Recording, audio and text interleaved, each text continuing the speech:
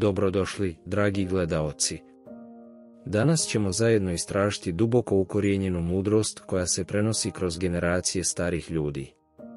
U svijetu gdje brzina informacija često guši suštinu života, želimo zaroniti dublje i slušati priče koje nose sa sobom težinu vremena i iskustva.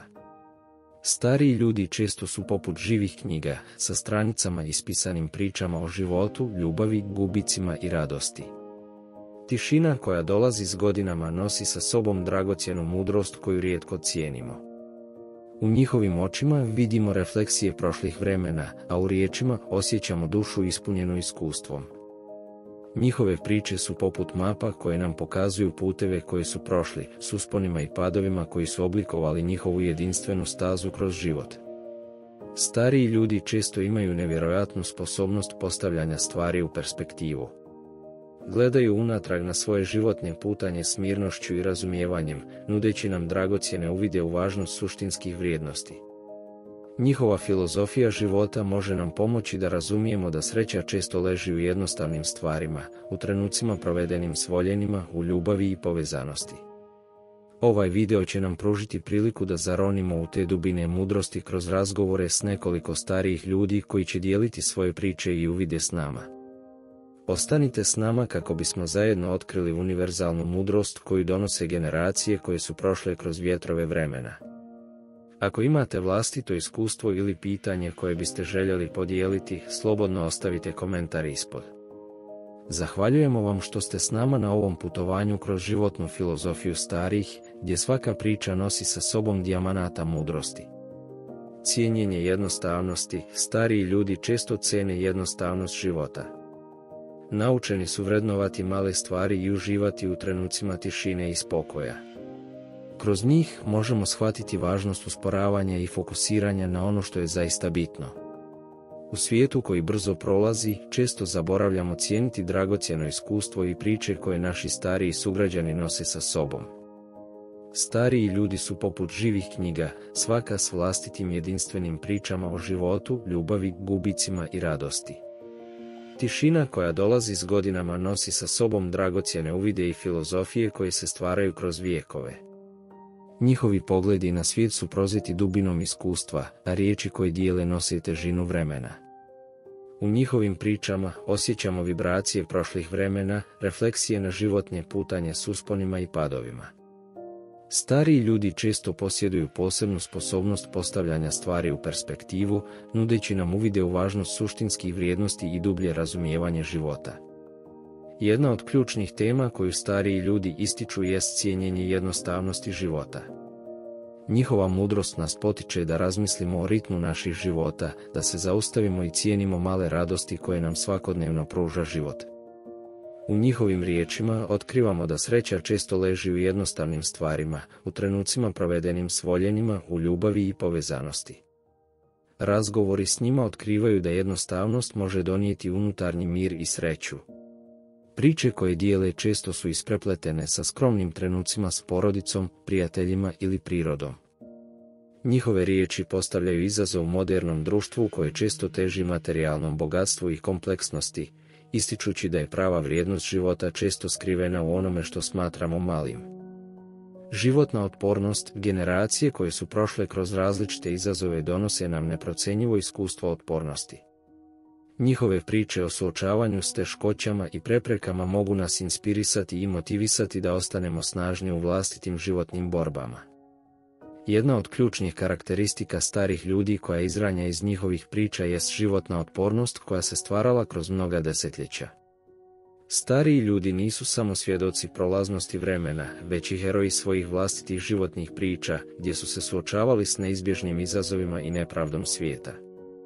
Životna otpornost starijih ljudi često dolazi iz duboke unutarnje snage koja je rasla iz suočavanja s teškoćama.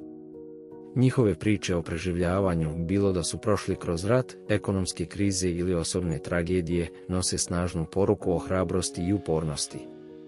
Kroz sve te životne oluje, stariji ljudi su uspjeli očuvati svoj integritet i duh, prkoseći izazovima koji su se pojavljivali na njihovom putu.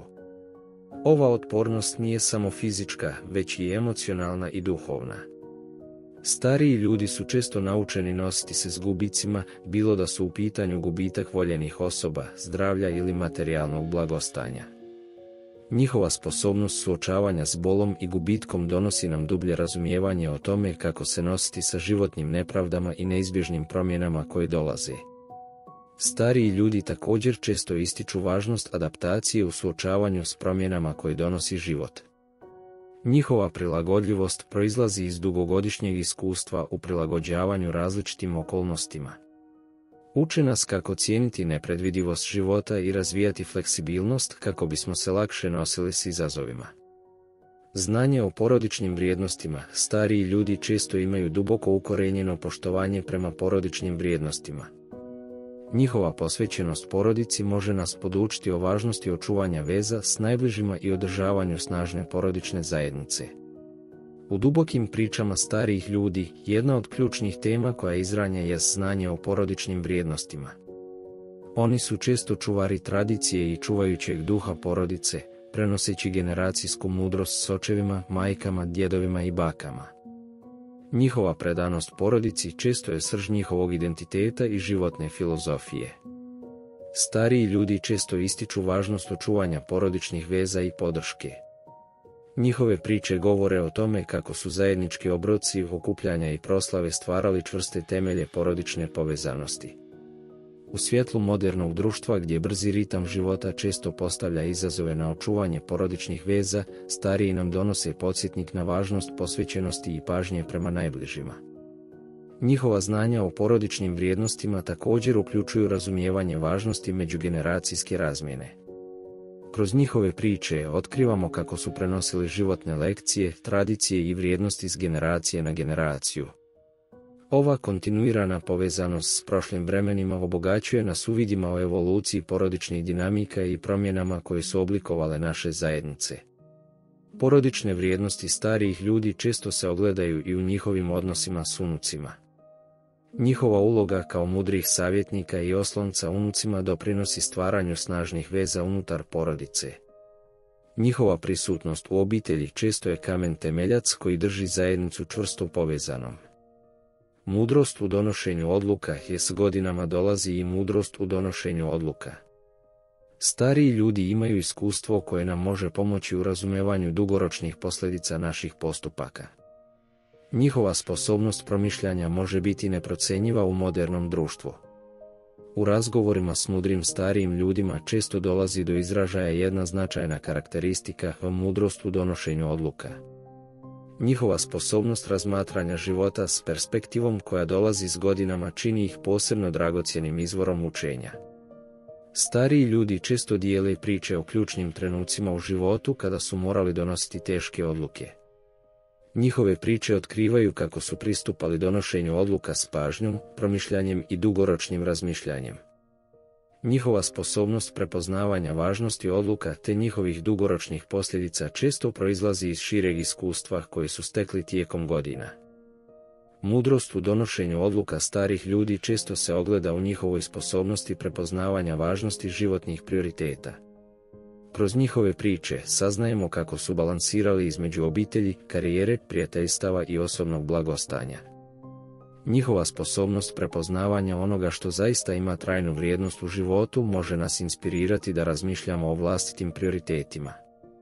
Stariji ljudi također često naglašavaju važnost intuitivnog razmišljanja i povjerenja vlastitim instinktima u donošenju odluka. Njihova iskustva pokazuju kako su naučili slušati svoje unutarnje glasove i kako su ti instinkti često bili vodič u ključnim trenucima. Životno učenje, mudri stariji ljudi nikada ne prestaju učiti. Njihova radoznalost i otvorenost za novo mogu nas inspirisati da ostanemo mentalno aktivni i nastavimo sa sobstvenim ličnim razvojem, bez obzira na godine. Kada slušamo priče starijih ljudi, jedna od izraženih karakteristika koja se često pojavljuje jest kontinuirano životno učenje. Stariji ljudi često dijele kako su nastavili učiti i rasti tijekom cijelog svog života, bez obzira na godine. Njihova radoznalost i otvorenost prema novim iskustvima često su izvor inspiracije za sve nas. Stariji ljudi nas podučavaju važnosti prilagodbe i pristanka na neprestano učenje. Njihova sposobnost da se otvore za nove ideje, tehnologije i promjene u društvu često ih čini mentorama mlađim generacijama. Njihovo životno učenje prilagođava ih brzim promjenama u svijetu i omogućava im da ostanu relevantni i aktivni. U pričama o životnom učenju starijih ljudi često se pojavljuje i njihova sposobnost prepoznavanja vrijednosti učenja iz vlastitih grešaka.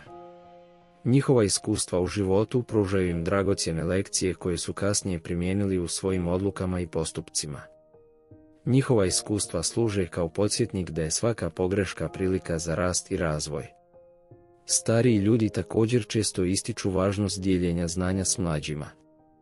Njihova želja da prenesu svoje iskustvo i učenje na sljedeće generacije često se očituje u mentorstvu, savjetovanju i podršci mlađima u njihovim životnim putevima. Njihovo životno učenje postaje dar koji dijele s drugima. Hvala vam što ste danas podijelili trenutke s nama, istražujući dubinu životnih lekcija koje mudri stariji ljudi donose u naše živote. Neka ova inspirativna iskustva budu podsjetnik da svaka priča, svaka riječ koju dijelimo s generacijama koje dolaze ima snagu oblikovati bolju budućnost. Vaši komentari, vaša interakcija i podrška su nam dragocjeni. Nastavite dijeliti svoje misli i iskustva, jer svaka riječ može biti kamenčić koji stvara val dubokih promjena. Pored toga, ne zaboravite lajkovati video, dijeliti ga s prijateljima i naravno, pretplatiti se na naš kanal kako biste ostali povezani s narednim inspirativnim sadržajima. Vidimo se u budućim videomaterijalima gdje ćemo zajedno otkrivati nove perspektive, učiti iz životnih priča i nastavljati graditi mostove između generacija. Sretno na vašem putu, neka vam stariji budu vodiči u otkrivanju dubina životne mudrosti.